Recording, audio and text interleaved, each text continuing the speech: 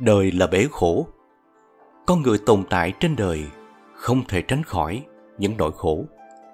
Theo Phật giáo, đã ở trong kiếp nhân sinh, nhất định phải trải qua bảy nỗi khổ lớn của đời người. Thứ nhất là đệ nhất khổ, sinh. Đứng đầu trong những nỗi khổ lớn nhất của đời người là sinh. Sống trên đời đã là một nỗi đau khổ rồi. Bởi từ đây, chúng sinh trải qua trăm cây ngàn nắng. Đã sống thì không mong chỉ có ngày nắng đẹp, nhất định phải chống chịu bão giông. Chân lý này hiển nhiên không thể thay đổi. Thứ hai, định vị khổ, đó là lão. Năm tháng trôi qua, từng chút tinh lực, từng chút sức khỏe, từng chút ký ức sẽ bị mài mòn. Có người sẽ dần già đi. Nỗi sợ hãi cũng từ từ rõ ràng hơn. Sự hoảng sợ khi đối mặt với lão bản chất là loại trơ mắt đứng nhìn. Bởi không có cách nào khác, không tránh được, không né được. Con người đơn thuần sẽ già đi theo năm tháng. Thái độ đối với việc này tương đối bình thản, bởi sinh hoạt thay đổi rất chậm rãi, chẳng có biến hóa lớn lao. Vừa cái là mất, nhưng cũng là cái được. Vừa là cái mất, nhưng cũng là cái được. Càng nhiều tuổi, càng nhiều kinh nghiệm, càng có thêm bình tĩnh do thấu hiểu lẽ đời. Khi còn trẻ, hăng hái bao nhiêu, thì càng sợ tuổi già bấy nhiêu. Lúc tinh lực cạn kiệt, không cam lòng đến mấy, cũng chỉ có thể lặng lặng thưởng thức những ký ức vui tươi nhất, sôi nổi nhất, cũng giống như một loại khổ ải gặm nhấm linh hồn. Đồng thời tuổi già sẽ mang lại những người thân, người yêu, người bạn của mình lần lượt rời bỏ thế giới này. Mùi gì đó mới chính là nỗi đau lớn lao nhất. Thứ ba để tam khổ, bệnh. Bệnh tới như núi đổ, cảm giác giống như đột nhiên bị đánh bại. Một cơn bệnh qua bao nhiêu tinh lực đều cạn kiệt. Có thể lĩnh hội được thế nào là lằn ranh, là giới hạn của cuộc đời. Ngày hôm qua, con tràn trề sinh lực, vậy mà hôm nay đã trói gà không chặt. Nếu bệnh không nguy hiểm tới tính mạng thì quá trình bệnh lui cũng đủ làm cho người ta lao đao mệt nhọc. Người mang bệnh chẳng làm được việc gì, chỉ nằm một chỗ, hết ăn lại ngủ, mà ai có thể ngủ suốt ngày. Không thể làm gì khác ngoài việc hưởng thụ ốm đau một cách bất đắc dĩ. Muốn làm việc cũng không làm được, muốn vui chơi cũng không có hơi sức. Ngoại trừ thân thể, bệnh tật còn dằn vặt tinh thần con người một cách vất vả. Có câu, bệnh lâu trước giường, không có người con hiếu. Phật giáo nhắc nhở rằng, trong trăm cái thiện, hiếu thảo là việc thiện hàng đầu. Nhưng đứng trước bệnh tật, chữ hiếu cũng phải lùi bước, huống chi là tình cảm thông thường. Người bệnh ốm o, mệt mỏi, lúc nào cũng cáu gắt, lúc nào cũng phải chăm sóc phục vụ. Người bệnh lâu thì dần dần thành quen thuộc, sinh cảm giác lãnh đạm. Cuối cùng, mấy người có thể kiên trì mà quan tâm chăm, hay phần lớn đều là bỏ mặt người bệnh một chỗ. Trước giường bệnh quạnh quẻ, chẳng phải cũng là một nỗi khổ hay sao? Bệnh cấp tính thử thách thân thể, bệnh dai dẳng thử thách tinh thần, ốm giặt thử thách tính nhẫn nại. Bệnh tật dù lớn hay nhỏ cũng là một loại dày dò, là một nỗi khổ phải tự mình gánh vác. Khổ nhất là bệnh tới không báo trước. Bệnh tật chẳng chừa một ai. Coi như ai số khổ, mệnh khổ thì phải chấp nhận mà thôi. Thứ tư, đệ tứ khổ, tử. Một trong bảy nỗi khổ lớn nhất cuộc đời là cái chết. Dòng tuần hoàn nhân gian có sinh có tử, mà sinh thì có hạn, nhưng tử lại bất kỳ. Chẳng bao giờ báo trước. Cái chết đáng sợ không phải ở quá trình bởi nó quá ngắn ngủi người ta chưa kịp cảm nhận được thì đã kết thúc rồi, mà ở chỗ không thể kháng cự. Mỗi người nhận thức về vận mệnh của mình có một điểm nhất định sẽ chết. Đại đa số đều không thích nhưng lại không thể trốn tránh tự nhiên tạo thành một nỗi hoảng sợ nơm nớp trong lòng. Chết cực khổ, giống như biết trên núi có hổ mà vẫn phải lao vào. Người không sợ chết thì tính chất khổ cũng tiêu tan, thậm chí còn hưởng thụ cuộc sống tốt hơn, thông dong, thoải mái, trời kêu ai, người nấy dạ. Như vậy là biến khổ cực thành niềm vui. Chỉ mong sao cái chết đến nhẹ nhàng không đau đớn là mãn nguyện lắm rồi. Thứ năm, để ngủ khổ, quán tăng hội khổ. Người mình ghét cay ghét đắng, lại ở cùng một chỗ. ngẩng đầu thấy, cúi đầu cũng thấy. Muốn không để ý tới họ cũng không được, chẳng phải là khổ quá hay sao? Đáng ghét phiền chán tới mức trong lòng không thể yên ổn. Đối với cha mẹ còn có thể tùy hứng, không đến nỗi quán trách. Quán trách cũng có thể không cần ở chung, song cả đời không dứt bỏ được. Dẫu thế nào vẫn là người thân, mối ràng buộc này là một loại khổ. Đối với người yêu, không sợ oán trách, bởi oán trách thì chia tay là xong, chỉ sợ là ở gần nhà lãnh đạm.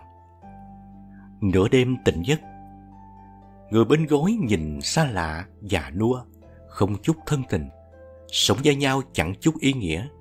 Chỉ có nghi ngờ, oán trách, sẽ như hạt giống gieo xuống đất. Càng ngày càng phát triển nhanh, mọc thành cây, chẳng mấy chốc thành rừng. Đối với đồng nghiệp, bạn học mà quán trách thì là bệnh nặng, nhất định phải lưu ý. Quán trách trong các mối quan hệ xã giao giống như khối u ác tính trong bảy nỗi khổ lớn của đời người, có hai nỗi khổ có thể chủ động buông tha. Chỉ cần tu tâm theo lời Phật dạy để tạo nghiệp lành, từ bỏ hận thù thì tự dưng chẳng quán chẳng trách. Một trong số đó chính là quán tăng hội khổ với đồng nghiệp. Thứ sáu, đầy lục khổ, yêu biệt ly khổ.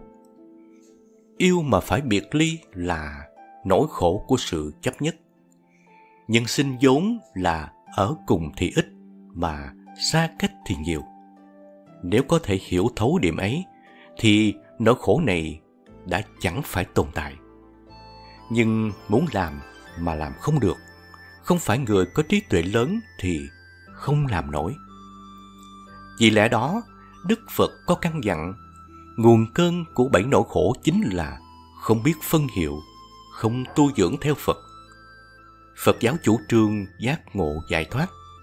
Người đời cho rằng, như thế thật vô gì nên mới rước nỗi khổ vào mình. Người thân ấm áp gần gũi, người yêu thấm thiết ngọt ngào, bạn bè thân thiết thuần hậu rồi cũng có ngày chia xa. Mấy người có thể mãi đắm chìm trong niềm vui thích ấy. Đợi đến khi qua lạc mây trôi, đông qua xuân tới, mới kinh ngạc phát hiện ra những chuyện đã qua chính là khoảng thời gian tốt đẹp nhất, đáng quý nhất, là giấc mộng nhân sinh tuyệt nhất của đời người. Chung quy lại, những thứ này mang tới niềm vui mà cũng là nguồn cơn của đau đớn, khổ sở. Trước mắt là những nhớ nhung, hồi tưởng. Thứ bảy, để thất khổ, cầu bất đắc khổ. Phật dạy về chữ tham lòng tham là nỗi khổ. Vì tham để thấy chúng ta có nguyện ước, thiên hạ nhốn nháo đều không có được. Thế là thành phiền não. Kỳ thực, nếu là chuyện giặt giảnh thì chậm một chút cũng chẳng sao. Nhiều lắm là tức giận rồi bỏ qua, không coi là khổ. Trên đời sợ nhất là hai loại cầu bất đắc khổ.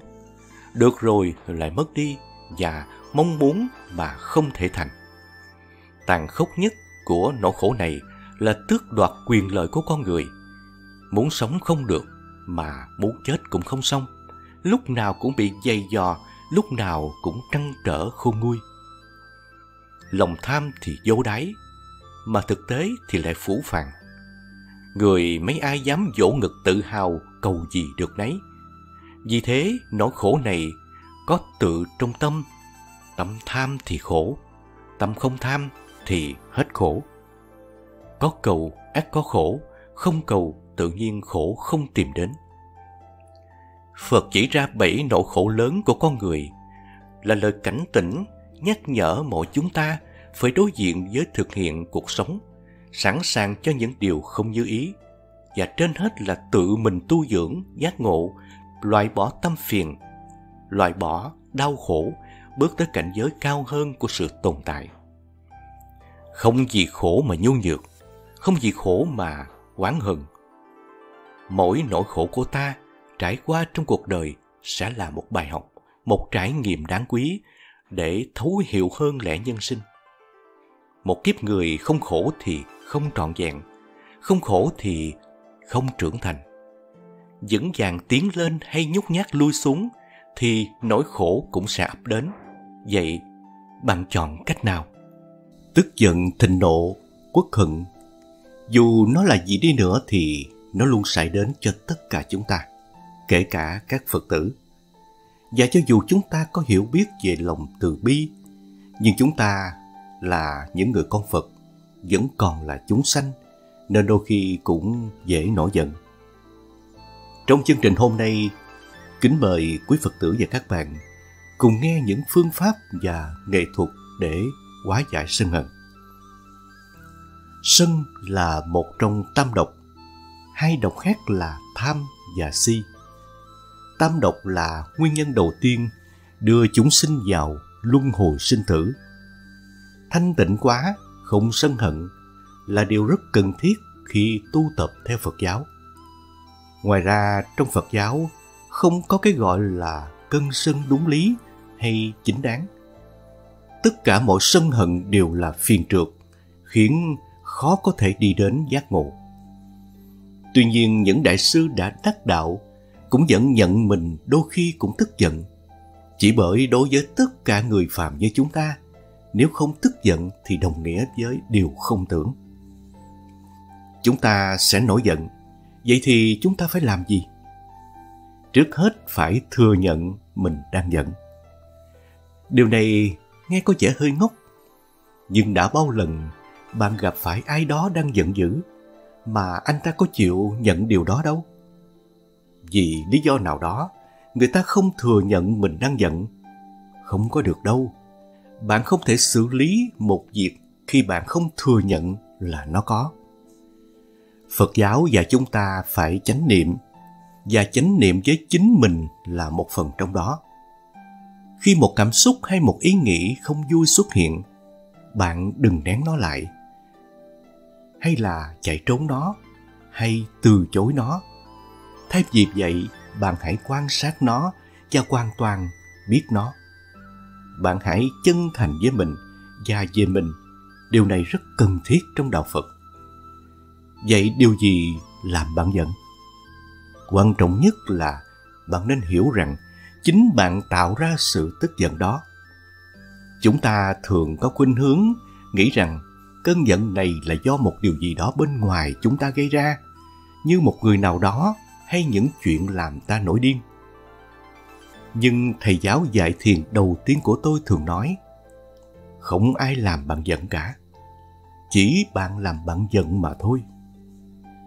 Phật giáo dạy chúng ta sự tức giận khởi lên từ cái tâm. Tuy vậy, khi bạn đang cố gắng đối trị với cơn tức giận, bạn phải suy nghĩ một cách cụ thể hơn. Sự tức giận luôn thách thức chúng ta nhìn sâu vào bên trong. Thường thì tức giận mang đến từ về. Nó xuất hiện khi ta sợ hãi một cái gì mà ta không thể giải quyết được. Hoặc khi cái tôi của ta lớn quá là Phật tử, chúng ta nhận ra cái tôi đó, sự sợ hãi đó và cơn giận đó là không có thật và vô thường. Chúng chỉ là ma theo một nghĩa nào đó. Nếu để cho sự sân hận điều khiển hành động của chúng ta, thì nó đồng nghĩa với chúng ta để ma xuôi quỷ khiến. sân hận là tự chiều mình. Sự tức giận gây cảm giác rất khó chịu, nhưng lại có sức quyến rũ lớn. Pema Chodron là một nhà nghiên cứu Phật giáo nổi tiếng người Mỹ, nói rằng người ta luôn thích thú khi đi tìm lỗi của người khác, đặc biệt là khi cái tôi của ta bị chạm. Hầu như trong mọi trường hợp, và ta muốn bảo vệ cơn giận đó, ta sẽ diện đủ lý do để nuôi dưỡng nó. Tuy nhiên, Phật giáo thì dạy rằng ta không thể bào chữa cho sự tức giận hay là sân hận.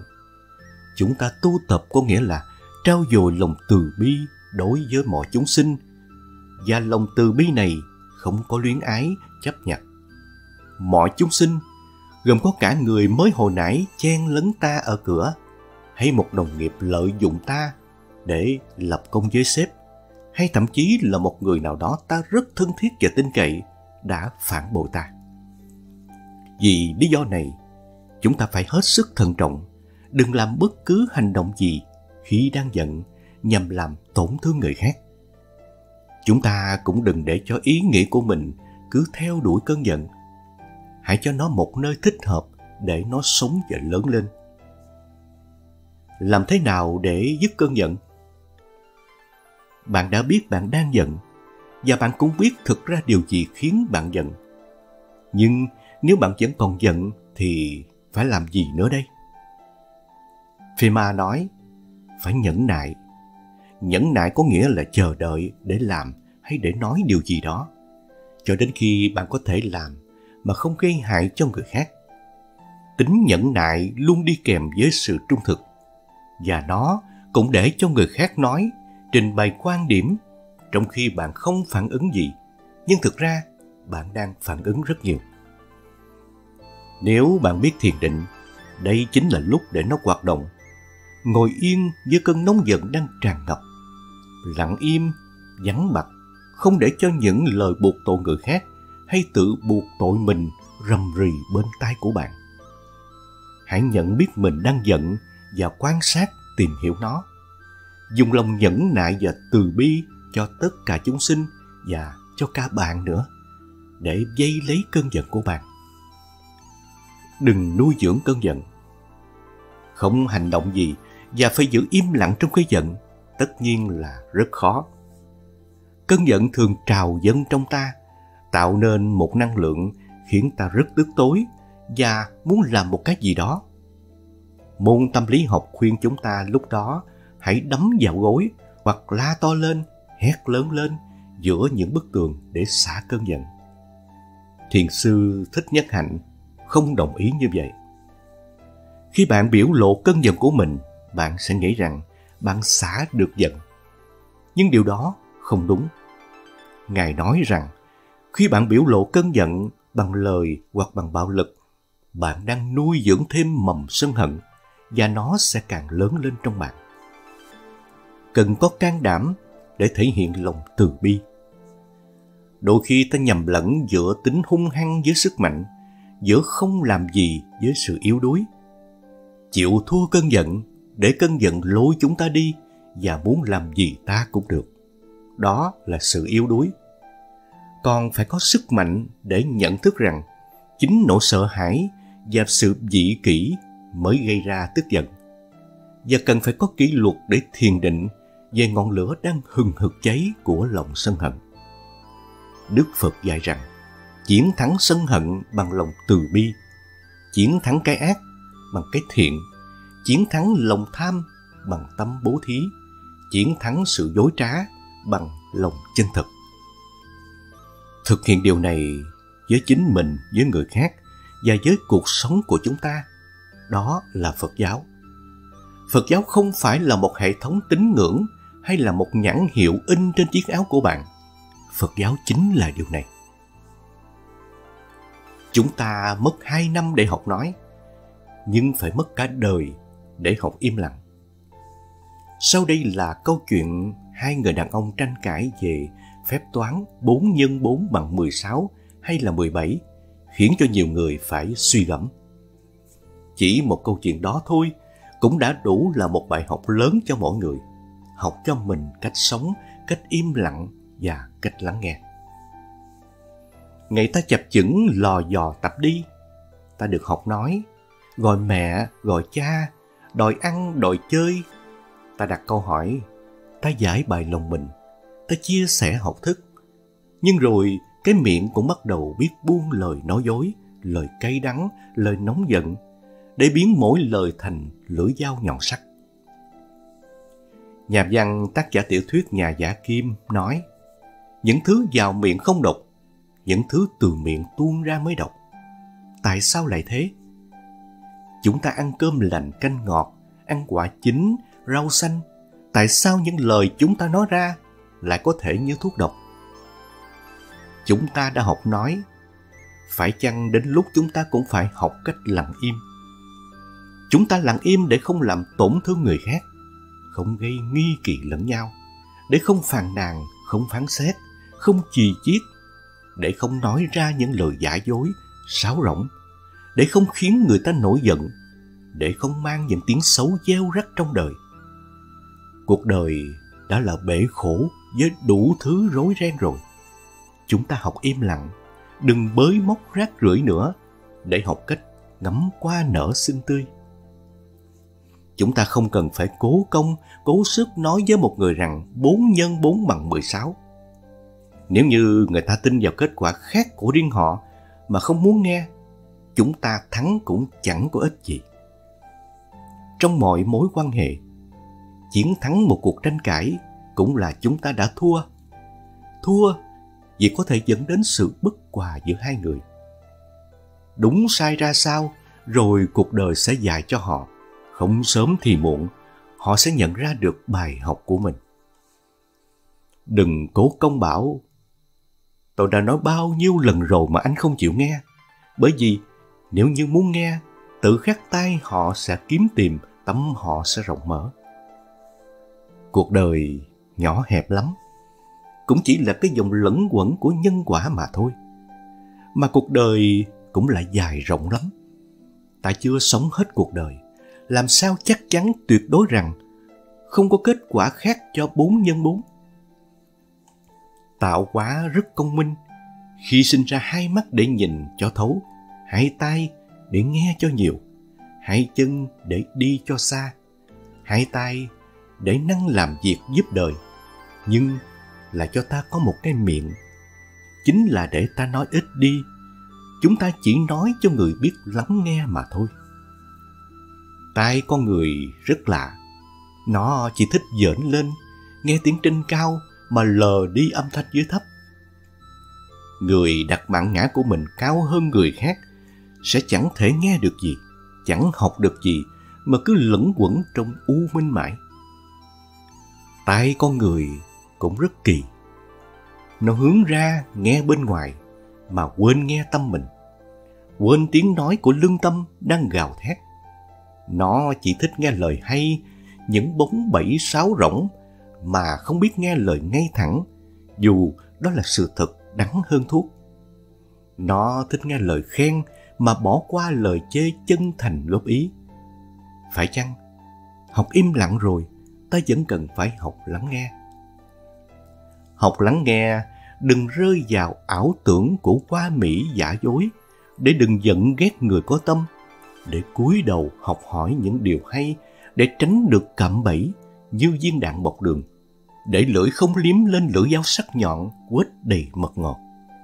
Học lắng nghe để nghe thấy tâm của mình đang số sục lương tâm đang dây dứt lý trí đang dễ dùng.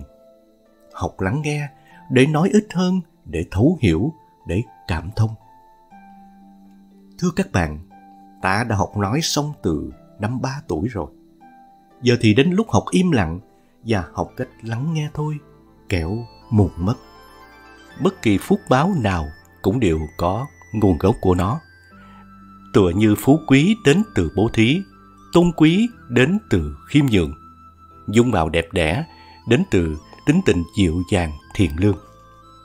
Đó là nội dung mà chúng tôi muốn gửi đến quý Phật tử và các bạn xung quanh vấn đề tướng do tâm sinh, dung mạo đẹp đẽ cũng là một loại phúc báo. Con người ta sau khi đã đến tuổi trung niên liền thể hiện ra tướng mặt. Sự ảnh hưởng tính cách mà đời này mang đến. Những người hiền lành chất phát phần đông là có tướng mặt phúc hậu. Những người có tính nhu hòa thì tướng mặt dịu dàng đẹp đẽ. Những người tính tình cực kỳ thô bạo thì thường là bộ mặt dữ tợn. Có rất nhiều người phụ nữ trung niên phẩm hạnh không được tốt lắm, thường thường có tướng mặt hà khắc. Đây chính là tướng bạc mệnh, tướng khắc phu đã được nhiều người nói đến. Trên thực tế không phải là tướng mạo do trời sinh, mà là bản tính và là hành vi dung dưỡng trong một thời gian dài phản ánh trên gương mặt. Những tướng mạo này cũng đang báo trước vận mệnh tương lai của người đó. Thuật xem tướng cũng là một loại tích lũy kinh nghiệm. Tướng do tâm sinh, từ mặt mà quan sát rõ cái tâm, từ cái tâm mà thấy rõ được tương lai là vậy. Như vậy thì căn nguyên tướng mạo trong suốt thời gian dài của tuổi thơ và đến khi trưởng thành là gì? Tướng mạo đặc trưng có liên quan tới nhân tố di truyền của cha mẹ. Ngoại hình gương mặt có liên quan tới bản tính tiên thiên, nhận được mức độ vẻ đẹp và thói quen của một đời trước mang đến. Nửa đời trước của người ta là sống với sự ảnh hưởng của kiếp trước. Nửa đời sau, phần nhiều là sống với sự ảnh hưởng của nửa đời sau. Vậy nên mới nói là sau khi con người ta đến tuổi trung niên thì phải chịu trách nhiệm với gương mặt của chính mình. Lòng từ bi cũng là một nhân tố đặc biệt quan trọng. Những người dường như có lòng yêu thương thường thường từ trong đến ngoài tỏa ra một loại ánh hào quang hơn người, khiến cho người ta càng nhìn thì càng thuận mắt, càng lúc càng thích tiếp xúc với người đó. Còn những người quá tư tự giảo hoạt so đo là rất không dễ nhìn. Thậm chí dung mạo dẫu có may mắn đẹp đẽ đi nữa thì trên gương mặt dần dần cũng sẽ thể hiện ra một số chỗ khiến cho người ta không thích. Ví dụ như gương mặt không quà khí, cứ cho là cái nhìn đầu tiên thuận mắt. Tiếp xúc nhiều hơn một chút thì sẽ thấy không còn hấp dẫn gì nữa. Xin bạn hãy tin rằng tướng mạo là có thể từ từ mà cải biến, nhất là những tướng mạo tốt đẹp, là sẽ từ trong ra ngoài tỏa ra một loại sức hấp dẫn, khiến cho người nhìn vào sẽ sinh lòng ái mộ. Rất nhiều lúc xinh đẹp hay không là sinh ra từ cái nhìn trong tâm của người ta. Nhìn người tình mà cứ ngỡ như Tây Thi chính là đạo lý này. Vì vậy, nếu như muốn có tướng mạo xinh đẹp, trước hết cần có một tâm hồn đẹp đẽ. Thứ nhất là những người cam tâm tình nguyện chịu thiệt, cuối cùng sẽ không chịu thiệt. Những người có thể chịu thiệt, nhân duyên tất nhiên sẽ tốt. Những người nhân duyên tốt, cơ hội tự nhiên sẽ nhiều hơn. Một đời của người ta có thể nắm bắt được một hai lần cơ hội cũng đã đủ rồi vậy. Thứ hai là những người thích chiếm lợi thế cuối cùng cũng không chiếm được lợi thế gì cả.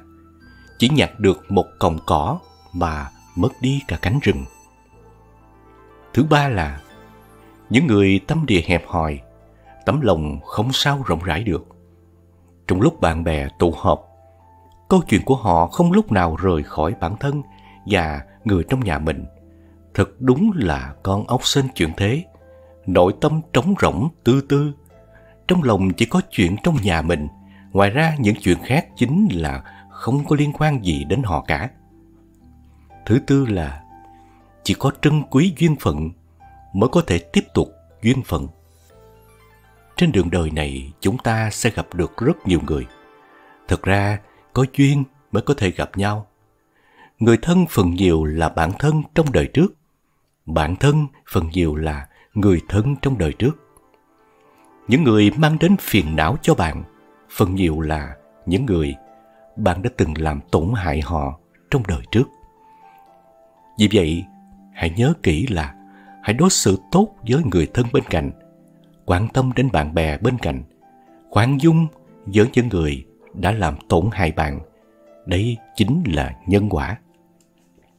Thứ năm là trong tâm không có khuyết điểm gọi là phú, được mọi người cần đến thì gọi là quý.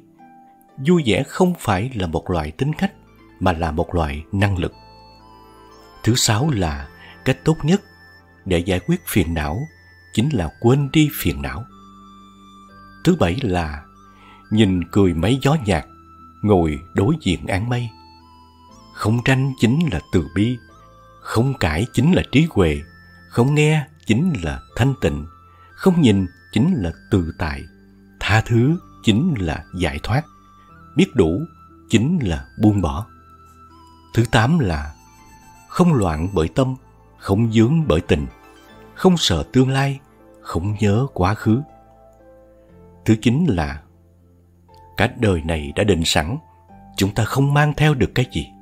Vậy thì hãy sống vào lúc này, cười vào lúc này và giác ngộ vào lúc này vậy.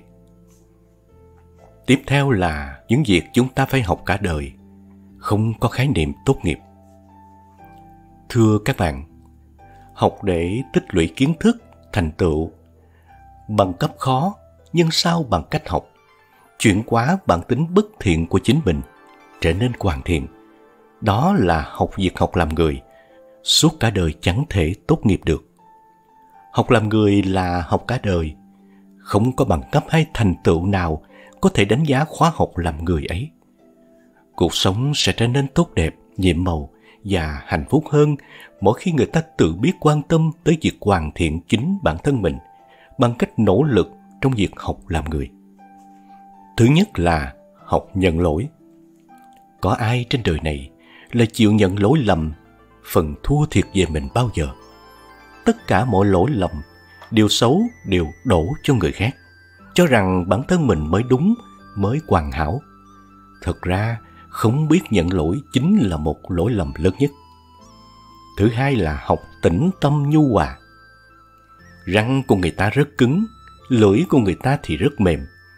Đi hết cuộc đời này, răng người ta rụng hết, nhưng cái lưỡi thì vẫn còn nguyên. Cây to lớn trước gió dễ dàng bị quật ngã, nhưng những cành trúc, cành tre nhỏ bé lại bền bỉ, dẻo dai. Bởi thế cho nên, cần phải học mềm mỏng, nhu hòa thì đời con người ta mới có thể tồn tại lâu dài được. Tâm nhu hòa là một tiến bộ lớn trong việc tu tập. Thứ ba là học chữ nhẫn. Mọi việc trên thế gian này, nếu nhẫn được một chút thì sống yên bể lặng, lùi một bước thì biển rộng trời cao. Nhẫn dạng sự được tiêu trừ, nhẫn chính là biết xử sự, biết quá giải, dùng trí tuệ và năng lực làm cho chuyện lớn hóa thành nhỏ, chuyện nhỏ hóa thành không. Thứ tư là học thấu hiểu bao dung. Cuộc sống thiếu thấu hiểu, ít bao dung sẽ nảy sinh những thị phi, những tranh chấp, hiểu lầm phức tạp. Mọi người cần thấu hiểu, thông cảm lẫn nhau để giúp đỡ nhau cùng hướng tới cuộc sống bình an, tốt đẹp. Không thông cảm lẫn nhau thì làm sao có thể hòa bình cho được. Thứ năm là học buông bỏ. Cuộc đời được ví như một chiếc vali. Lúc cần thì xách lên, không cần dùng nữa thì đặt nó xuống. Có người lúc cần đặt xuống thì lại không chịu buông tay. Bản thân không được tự tại, trái lại luôn mệt mỏi vì lúc nào cũng đè bồng túi hành lý nặng nề đó. Năm tháng cuộc đời có hạn. Nhận lỗi, tôn trọng, bao dung mới làm cho người ta chấp nhận mình. Biết buông bỏ thì mới tự tại được. Tâm mới yên tĩnh, cuộc sống mới an lạc. Thứ sáu là học cách đồng cảm. Nhìn thấy ưu điểm của người khác, chúng ta nên hoan hỷ. Nhìn thấy điều không may của người khác, chúng ta nên đồng cảm. Đồng cảm là tâm thương yêu, tâm Bồ Tát, tâm Bồ Đề. Trong cuộc đời, có chứng kiến những chuyện cảm động, lời nói cảm động thì bản thân cần nỗ lực tìm cách làm cho người khác cảm động, đồng cảm để tất cả cùng nhau hướng thiện.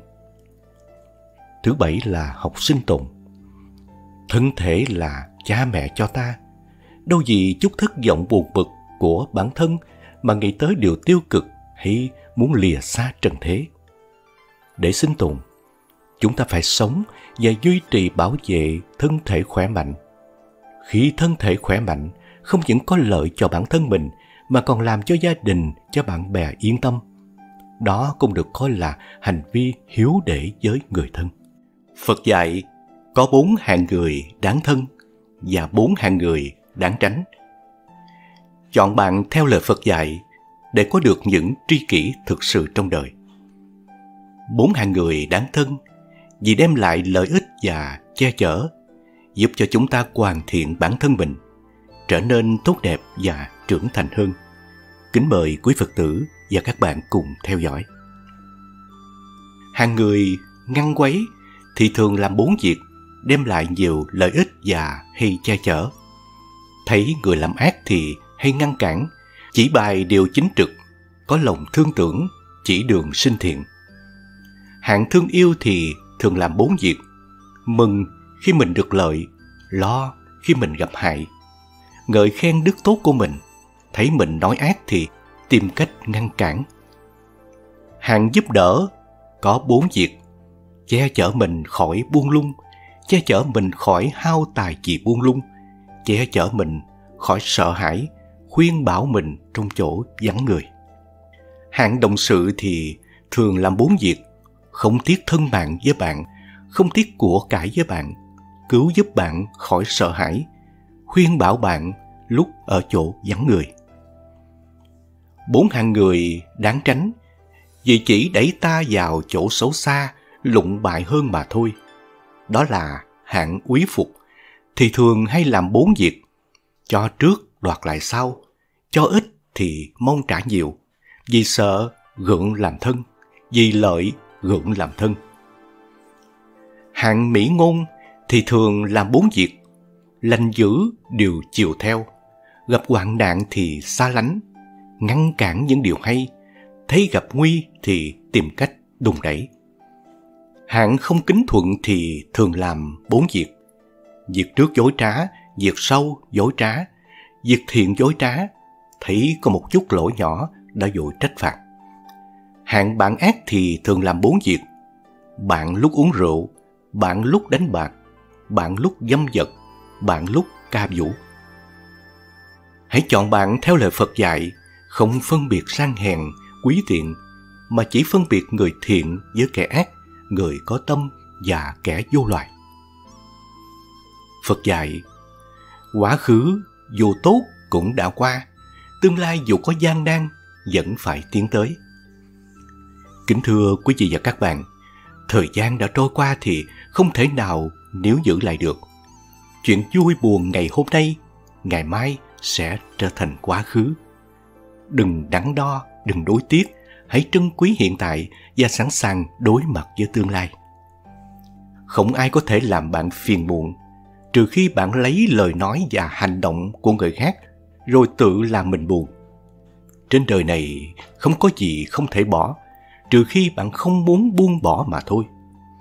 Thời gian sẽ trôi đi theo tâm trạng. Cuộc sống cần một chút bản lĩnh để đương đầu. Gặp chuyện thì không loạn, chuyện lớn không lo sợ, chuyện nhỏ không chần chừ. Thắng trầm, ngọt bùi, cay đắng của cuộc đời đều ở tại tâm. Tâm thái tốt, vượt sâu núi thẳm nào cũng có thể qua. Làm việc với tâm trạng thoải mái, dù có khó khăn đến mấy cũng sẽ hoàn thành. Sinh mệnh dù ngắn hay dài, mỗi người chỉ có một lần. Cuộc sống dẫu buồn hay vui, mọi người vẫn đang tiếp tục. Đường đời lúc lên lúc xuống, nhưng ai cũng phải bước đi trên cuộc hành trình đầy gian nan này. Gặp tiểu nhân không cần thiết phải so đo. So đo thì sẽ phiền não. Gặp rắc rối, chẳng cần quá để ý lưu tâm bởi quá lưu tâm thì sẽ càng thêm mệt mỏi. Thế gian rộng lớn, lòng người thì phức tạp, không thể tránh gặp tiểu nhân. Cõi trần thâm hiểm, những thế phù hoa, làm sao mới có thể không phiền não cho được. Hãy đơn giản quá một chút, xem nhẹ một chút, chịu oan khuất, trầm tĩnh, im lặng, bị hiểu lầm thì mỉm cười cho qua. Không có ánh nắng mặt trời thì cứ nghe gió thổi. Hãy nhìn mưa rơi. Không có hoa tươi thì ngửi hương thơm của cỏ cây, bùn đất. Không có tiếng vỗ tay thì hưởng thụ sự thanh tĩnh yên bình. Giữ được tâm trạng tốt, bước đi sẽ vững vàng hơn. Hãy trân quý niềm hạnh phúc của hiện tại, hưởng thụ những khoảnh khắc đẹp nhất này. Thời gian luôn xoay chuyển, tuổi đời sẽ qua đi, đừng phàn nàn, đừng than khổ, đừng ưu tư chùng bước. Đối mặt với chính mình, tấm lòng rộng mở, tha thứ lỗi lầm, sống thực thản nhiên, tu thành người độ lượng, tích được cả một đời hạnh phúc. Phật dạy 10 điều tự tại phải ghi nhớ trọn đời trọn kiếp. Thưa các bạn, những điều tự tại này sẽ khiến cho các bạn cảm thấy hài lòng về cuộc sống, chấp nhận những gì bạn đang trải qua. Điều ấy sẽ khiến cho bạn thanh thản và hạnh phúc hơn. Hầu như tất cả mọi người đều muốn có được sự thanh tịnh tâm hồn trong đời sống của mình. Ai cũng muốn có được hạnh phúc để quên đi những khó khăn vất vả và những âu lo của họ và tận hưởng những giây phút an lạc trong nội tâm và giải thoát những lo âu phiền muộn. Thanh tịnh trong tâm hồn là gì? Nó là một trạng thái vắng lặng và thanh bình của nội tâm cùng với một cảm giác tự do. Một khi không còn những suy nghĩ và lo lắng thì không có phiền muộn, căng thẳng và sợ hãi. Những giây phút như thế này không phải là hiếm có. Chúng ta trải nghiệm qua những giây phút này, chẳng hạn như khi chúng ta đang chăm chú vào một vài công việc hấp dẫn hay hoạt động mà chúng ta yêu thích. Như là khi ta xem một tập phim hay một chương trình TV hấp dẫn, hoặc khi chúng ta ở bên cạnh một người mà chúng ta yêu thương, hay khi đọc một quyển sách, hay hoặc khi nằm phơi mình trên cát trắng dọc bờ biển. Tự tại tức là tự do ngay trong tâm tưởng. Phật giáo dạy rằng, người tự tại là người biết thoát khỏi phiền não và nội tâm không có chấp nhất. Mười loại tự tại dưới đây là cảnh giới cao nhất mà bất cứ ai cũng nên hướng tới trong đời. Thứ nhất là thọ tự tại. Cuộc sống là hữu hạn, không ai có thể an bài. Duyên dạng kiếp mà không lâu, kề bên một niệm mà không ngắn. Đây là thọ tự tại. Vì thế, đừng bận tâm cuộc đời dài hay ngắn, chỉ quan tâm làm thế nào để sống cho thật tốt mà thôi. Thứ hai là tài tự tại. Hết thảy mọi vật lực đều là quả báo từ kiếp trước. Cầu không được, mộng không có, chỉ tự mình bồi đắp. Thứ ba là nghiệp tự tại. Chúng sinh tùy nghiệp mà ở, tùy nghiệp mà đầu thai, tùy phiền não, nghiệp tập mà lập nghiệp. Thứ tư, sinh tự tại. Sinh ra là hữu duyên, sinh ở đâu, làm con của ai đều là tiền duyên nghiệp báo, không thể thay đổi. Thứ năm là nguyện tự tại. Người thường có tâm nguyện thì khó mà tự tại. Tốt nhất nên biến thành hư nguyện, chỉ nên thành tâm mà làm. Còn viên mãn hay không, còn phải tùy duyên.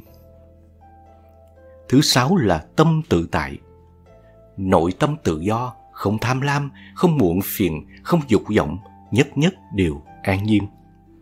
Thứ bảy là dư ý tự tại. Cái gì phải tới, sẽ tới. Cái gì phải đi, sẽ đi. Bất luận ra sao thì con người cũng không có khả năng cản trở hay né tránh. Vậy nên cứ bình thản mà đón nhận. Thứ tám là Pháp tự tại. Tu hành sẽ viên mãn, độ quá sẽ giác ngộ. Nhất tâm chấp niệm Phật giáo. Thứ chín là thắng thua tự tại thắng chính bản thân mình là thắng lớn nhất, thua chính bản thân mình là thua lớn nhất. Thứ mười là trí tự tại. Tích trí để hành thiện và sống thiện. Người có trí thì tinh thông, người không có trí thì ngu dốt. Trí là để nâng cao bản thân, không phải vì danh lợi. Thưa các bạn, Phật cũng dạy rằng, thật ra không phải là tiền bạc, thì đâu mới là tài sản lớn nhất của cuộc đời mỗi người. Con người nếu không biết bằng lòng với những gì mình đang có thì mãi mãi sẽ không thể hạnh phúc. Hạnh phúc có thể là những điều lớn lao, cao xa khiến người ta luôn phải nỗ lực để dương tới. Nhưng cũng có lúc hạnh phúc rất đổi bình dị, xuất hiện ở những điều tưởng chừng như nhỏ nhặt nhất mà đôi khi chúng ta vô thức không nhận ra. Trong cuộc sống, chúng ta thường nghe một số người hay than vãn rằng mình nghèo, chỉ có bàn tay trắng, không có nhiều tiền bạc, không giàu sang, không điểm gì, không có công việc tốt và rất nhiều cái không khác nữa. Tùy những suy nghĩ đó, họ bắt đầu cảm thấy cuộc sống này chẳng có gì gọi là ý nghĩa, vui vẻ.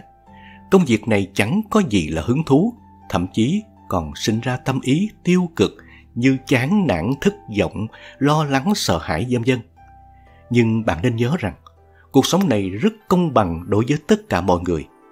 Đôi khi bạn rất giàu có, chỉ là bạn có nhận ra được hay không mà thôi. Chúng ta hãy cùng đọc câu chuyện ý nghĩa sau đây.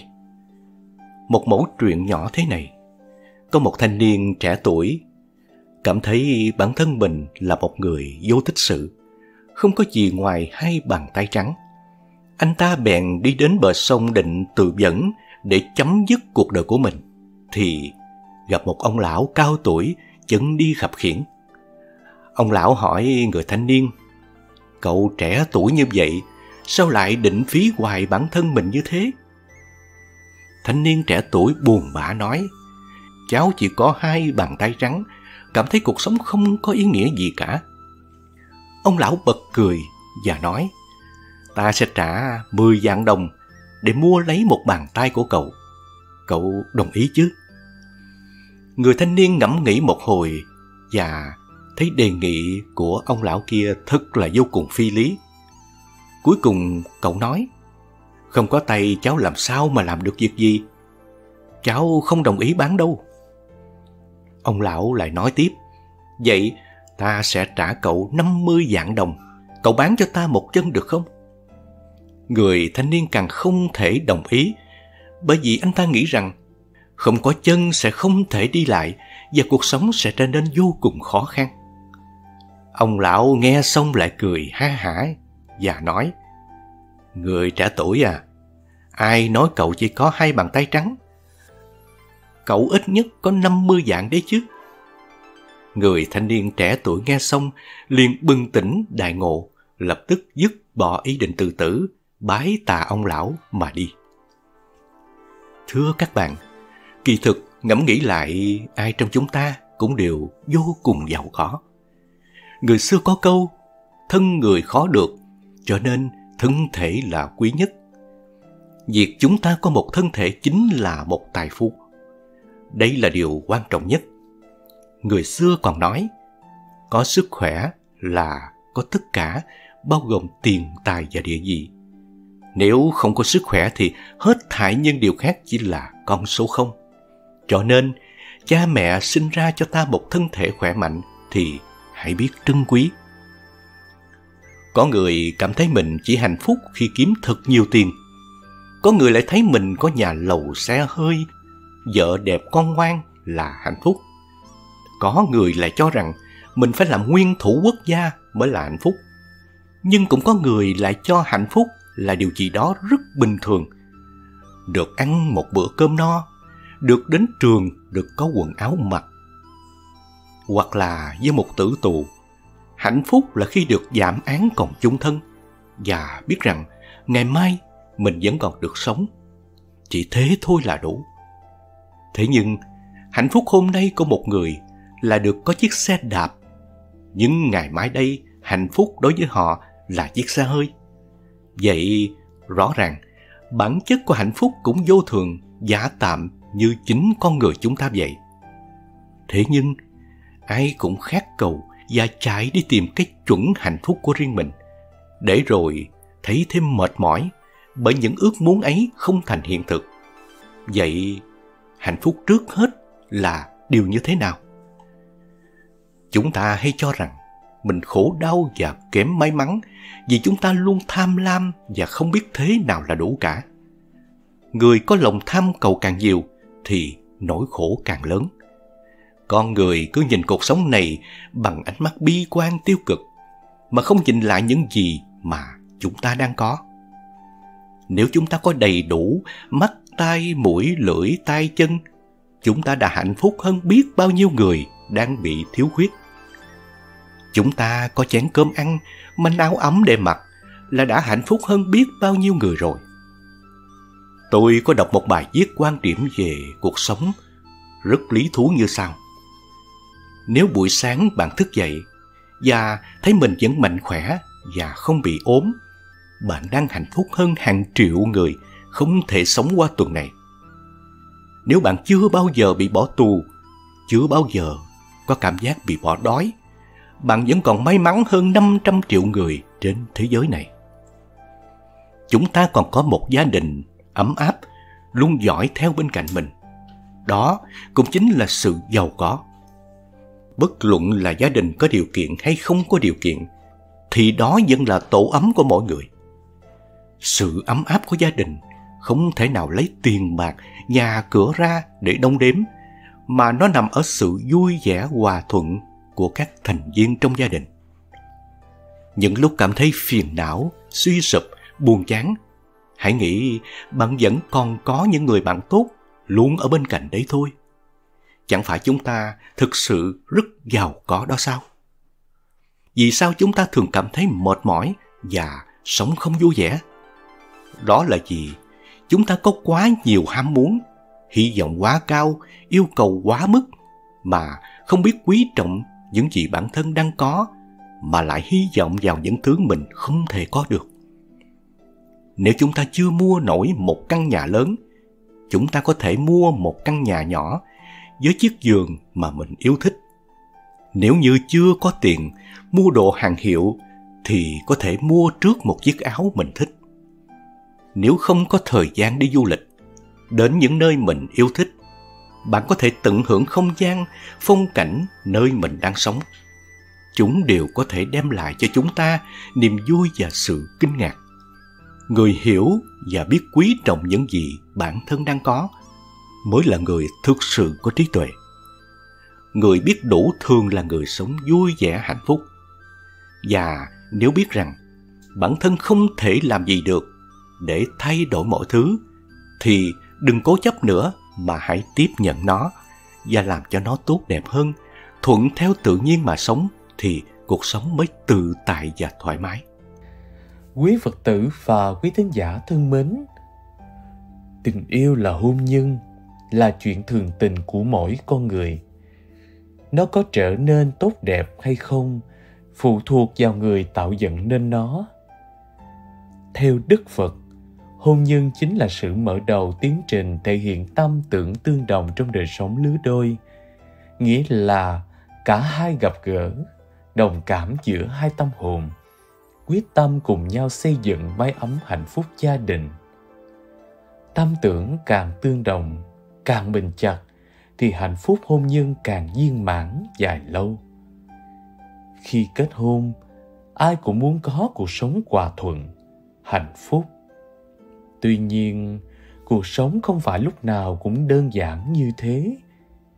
Con người dù có hạnh phúc đến đâu, thì ắt hẳn cũng sẽ có lúc không hài lòng mà sinh ra mâu thuẫn, chán chường, thậm chí là đổ vỡ hôn nhân không chỉ là nhân duyên để kết nối thương yêu, mà còn là cơ hội mỗi người hoàn thiện chính mình chính vì vậy, hôm nay chúng tôi sẽ mang tới cho quý phật tử bài giảng về hôn nhân có hiểu mới xây dựng hạnh phúc lâu bền Hãy cùng chúng tôi lắng nghe 10 điểm vàng lời Phật dạy về hôn nhân dành cho vợ chồng để có hôn nhân bình vững nhé.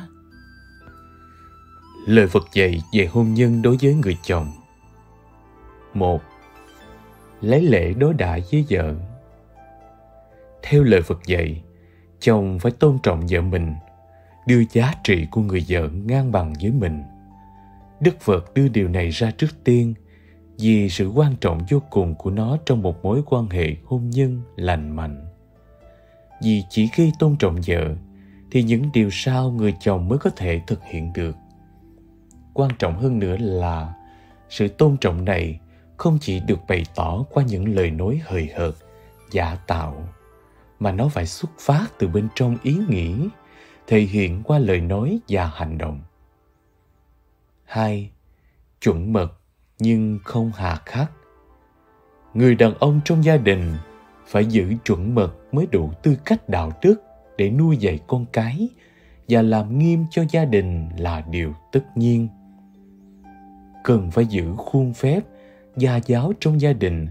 Nhưng không gì đó mà chèn ép, áp đảo người khác như thời phong kiến. Đức phật đã nói rõ về bản chất yếu mềm của người phụ nữ. Và nhắc nhở đàn ông không dọa nạt vợ bằng thái độ cộc cằn, mà phải duy trì thái độ mềm dẻo, nhẹ nhàng trong giao tiếp. Có như vậy thì hai người mới giữ được mối quan hệ êm đẹp, thoải mái. Ba Giữ lòng chung thủy Muốn vợ chung thủy, trước hết đàn ông phải chung thủy với vợ trước. Đức Phật luôn nhắc nhở những người đàn ông đã có gia đình tự quán và sử dụng trí tuệ không được quyến rũ người phụ nữ khác. Đức Phật thừa nhận rằng bản năng đòi hỏi tình dục là ham muốn mãnh liệt và nổi bật nhất của con người nhưng cần trí tuệ để thoát khỏi những dục vọng, để giữ gìn hạnh phúc gia đình. Đức phật dạy, không được sanh tâm, tà dạy. Tức là, đến việc tơ tưởng người khác, gọi là ngoại tình tư tưởng, cũng không được. Việc xấu dù nhỏ, khi càng cố che giấu, càng làm cho sự việc tồi tệ hơn, người khác cũng sẽ sớm phát hiện ra người có tâm xấu sớm muộn gì cũng gặp phải quả báo không cách nào tránh được 4. Chồng không gia trưởng Điều này không có nghĩa là người vợ sẽ quyết định tất cả, mà trong mọi việc hai người nên cùng quyết định và phải cùng thực hiện những quyết định của mình một cách hòa hợp, thay vì để người này lấn lướt người kia. Đức Phật dạy rằng, người vợ chẳng bao giờ nên là con rối của chồng hay ngược lại. Cũng có lúc, đức phật giải thích rằng một người vợ hoàn hảo có thể giống như người mẹ, người chị hay người bạn của chồng. Năm, tôn trọng sự yêu thích cái đẹp của vợ. Người chồng cần hiểu rằng phụ nữ là ngưỡng mộ cái đẹp, được làm đẹp là nhu cầu của người phụ nữ. Nên người đàn ông phải hiểu tâm lý này mà quan tâm, đối đãi phù hợp với người vợ đúng lúc. Người chồng dụng về sẽ rất dễ gây sự nhầm chán của hôn nhân và người vợ không hạnh phúc. Vì thế, người chồng cần thường xuyên tặng quà cho vợ để thể hiện tình cảm yêu thương trân trọng của mình. Đức phật còn giải thích thêm rằng được đối xử như thế. Người vợ sẽ cảm thấy đầy đủ trong tình thương yêu đối với chồng. Tình cảm này sẽ là mối dây kết nối hai người với nhau và giữ cho tình yêu của người vợ không bao giờ phai nhạt. Lời phật dạy về hôn nhân đối với người vợ. Một, biết cách tổ chức công việc gia đình. Phật khuyến khích người vợ phải ngăn nắp có tổ chức trong bất cứ việc làm gì của mình, chứ không hề gò ép người phụ nữ chỉ trong công việc nhà. Ngài là người luôn ủng hộ sự tự do và quyền của người phụ nữ, cũng như công nhận rằng sức mạnh trí tuệ của nữ giới thì ngang bằng với nam giới. Nhưng họ vẫn nên hiểu rằng, việc trong nhà ấm êm thì người đàn ông mới an tâm đi làm ăn, kinh doanh. Dù cho phụ nữ có đi làm thì cũng nên biết sắp xếp mọi thứ một cách linh hoạt để góp phần tạo nên mối liên hệ êm đẹp giữa hai vợ chồng. 2. Biết cách giải quyết mối quan hệ gia đình. Mối quan hệ trong gia đình không phải lúc nào cũng êm đẹp. Đức Phật đang dạy chúng ta về tư cách trong lời ăn tiếng nói đối với nhau. Phải dùng lời lẽ ôn hòa với nhau. Những quan điểm tốt của người chồng, người vợ phải ủng hộ và khuyến khích để chồng mình được vui vẻ và có động lực làm nhiều điều tốt hơn nữa. Người vợ có khuynh hướng tự nhiên vẫn là người thích hợp nhất để giải quyết những mối liên hệ với người khác vì đàn ông nội tâm ít nói hơn. Khi phụ nữ giúp cho các mối quan hệ xung quanh ổn thỏa thì người chồng cũng cảm thấy an tâm hơn. 3. Chung thủy. Thủy là khởi nguồn, chung là kết thúc. Một khi đã mang danh phận vợ chồng phải trước sau như một, dẫn lòng dẫn dạ. Không thay đổi trước những biến cố của cuộc đời. Việc kiềm chế không tà dâm phải được cả hai vợ chồng tuân thủ. Theo Phật Pháp, phản bội là tội nặng nhất. Khi có mối quan hệ với người khác ngoài vợ hoặc chồng là phạm giới thứ nhất vì đã giết chết niềm tin của vợ chồng làm cho người ấy chết dần chết mòn trong ghen tuông và đau khổ 4. Biết cách quản lý chi tiêu Đàn ông là đối tượng dễ bị cuốn vào những ảnh hưởng xấu trong xã hội như là nghiện rượu, cờ bạc và những mối quan hệ không chính đáng Do đó, Đức Phật dạy rằng trách nhiệm của người vợ là bảo vệ tài sản gia đình. Sự chi tiêu sáng suốt của người vợ và những việc làm này sẽ củng cố thêm mối liên hệ tốt đẹp với người chồng. Theo đó, vợ không được gian dối, tham lam, thủ tiền riêng hoặc là hoang phí của cải mà phải bảo vệ nó. Bên cạnh đó, họ cần biết làm như thế nào để sử dụng tài sản một cách có chừng mực, cũng không nên quá hà tiện. Năm, khéo léo và có năng lực, có thể làm bạn với chồng. Theo đức phật, người vợ phải chia sẻ bổn phận một cách bình đẳng với người chồng. Ngài chẳng bao giờ nói rằng chỉ có những người phụ nữ biết dâng lời mới có thể trở thành người vợ hiền.